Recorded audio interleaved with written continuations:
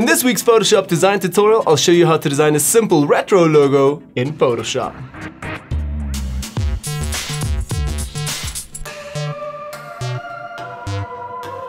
Hey guys and welcome back to a brand new Photoshop design tutorial. My name is Manny and you can find me over at retutpro.com. The channel where you get to learn everything about Photoshop design in weekly quick tutorials. So in this week's design episode I have a simple tutorial for you teaching you how to do a simple retro logo in Photoshop. We're gonna work with some shapes, we're gonna rasterize those layers, add some text and also bundle it all together, group it and create a really cool simple logo. So yeah, enough of the talking, let's do it. Okay, so over in our layers palette in the right hand side, again, you guys get to see here is first of all the, the design and then also the background. So again, let's start right away just with the background.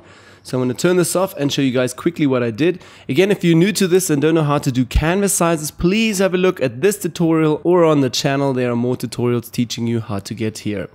Okay, so what I want to show you guys is first of all, just I've created the black canvas with a black layer here, completely black. And then I dragged in another layer here that I have also from graphicstock.com. Again, you can find it on that platform. And it's basically just a forest with a bit of mist.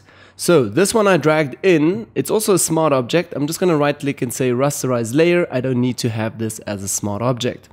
Now, due to that, that we're gonna have a white logo on top, I basically took down the opacity just a little bit from this layer. So basically I took this to 79% opacity. Let's actually type 80 in here. That would be around a number. And this is due to the white uh, design here. So it can stand out just a bit. So if it's obviously like this bright, it's a bit too bright. So 80% it is for opacity. Okay, so that's basically the background already. Let's get right away now into the design. So I'm going to turn off this layer and start right away with a fresh new layer and basically a shape layer. So let's actually press U on the keyboard, or you can also go here to the tool panel and select custom shape tool. Now in the custom shape tool, I have a ton of shapes. Again, remember you can also download all of this in the description down below. Just have a look. So over here, I found this shape over here. Okay, and now with this shape, I'm to hold shift on the keyboard so it's equally expanding and I make a nice big selection over here. Something like this. Okay, so right away you guys get to see that we have also selected here under fill in the application bar, it's nothing. Then also stroke should be white and also two pixels over here. Okay, so basically you can still see the outlines from the shape.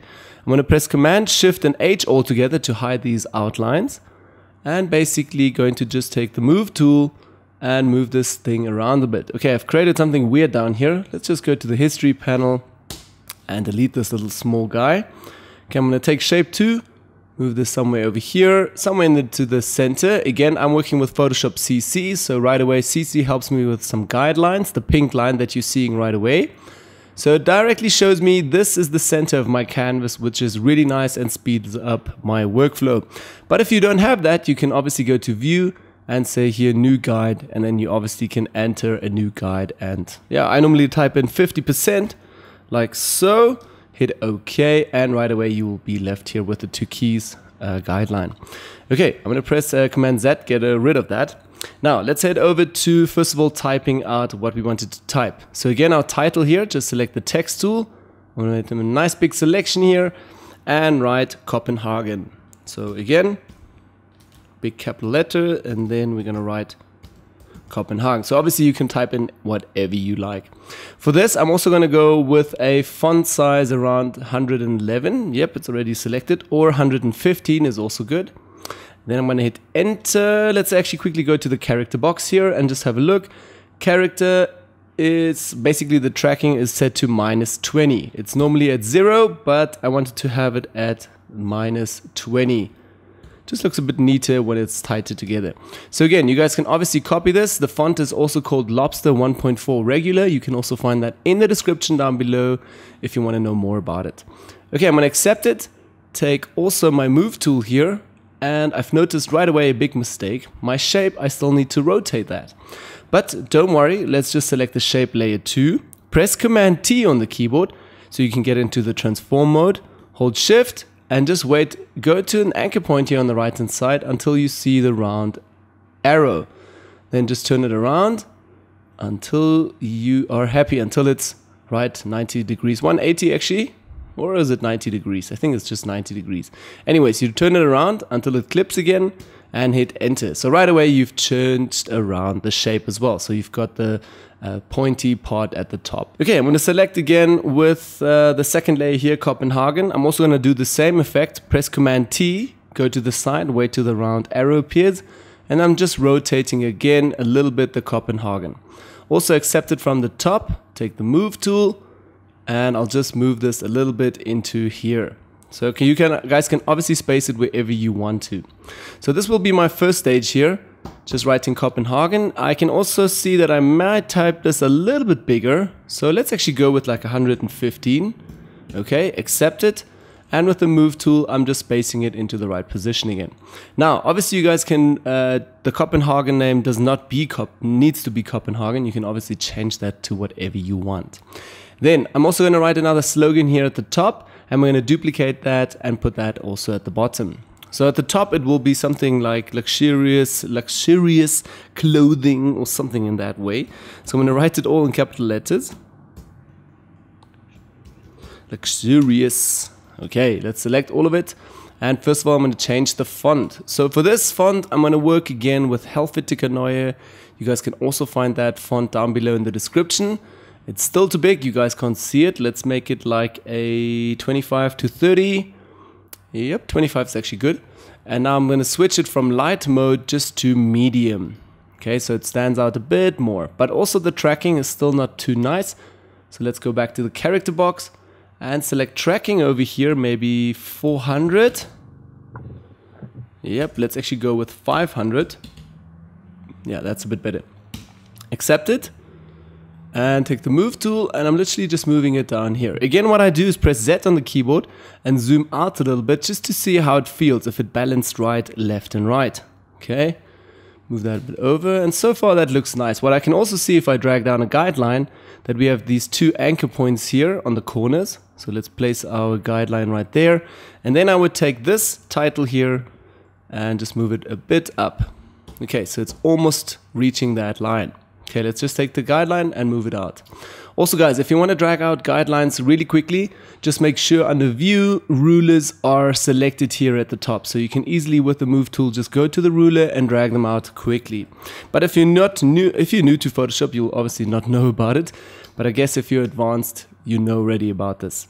Now let's take the luxurious uh, title here and just copy it again. So with command J, duplicate it, hold shift on the keyboard, and I'm just dragging it down so it stays in the same anchors here as the top part. Let's also take another guideline out. I'm to move it down to the anchor points here, again to these points.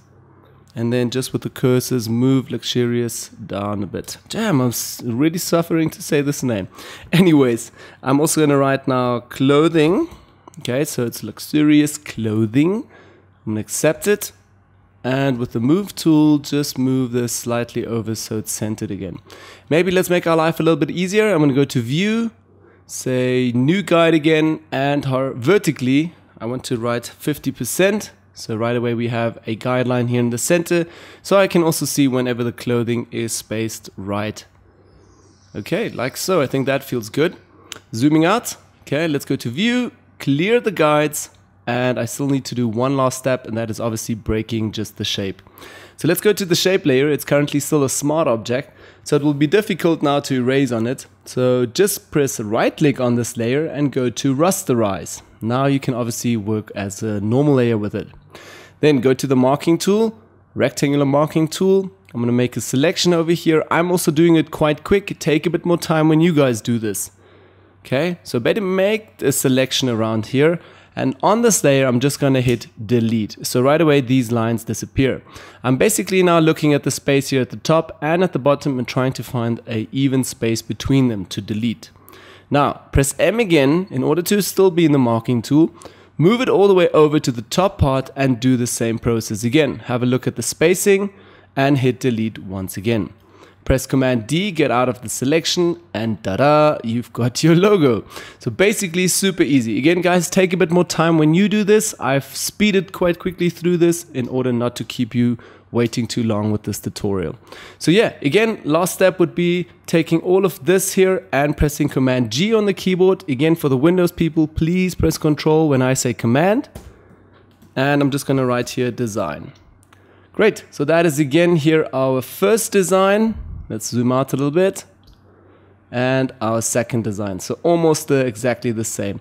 And if you want to now, you can obviously always fall back onto these uh, titles here and give this also a light form, a thin, or even if you want also a bold.